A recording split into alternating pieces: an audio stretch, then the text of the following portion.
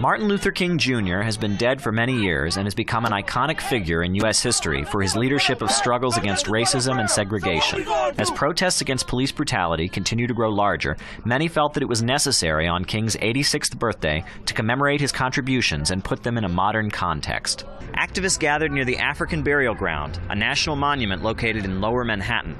Monica Moorehead, an organizer of the protests, explained why so many people continue to admire King.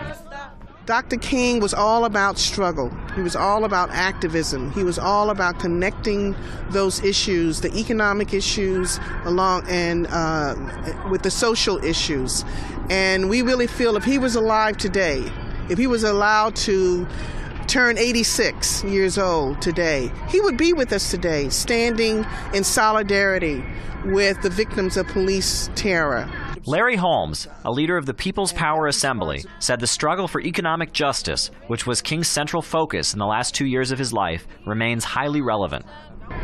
We need jobs and schools and health care and housing uh, and, and, services and uh, a, a decent minimum wage, a living wage.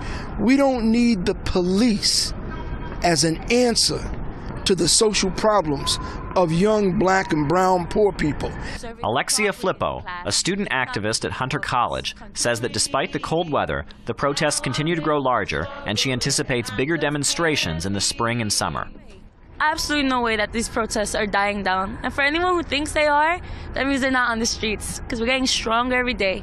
And when the summer comes, we're shutting it down. As protesters laid flowers at the African burial ground, they were monitored by a crowd of roughly 50 police officers. Protesters said they are planning many acts of disruption and civil disobedience in the lead up to the national holiday commemorating Dr. King on Monday. Caleb Maupin, Press TV, New York.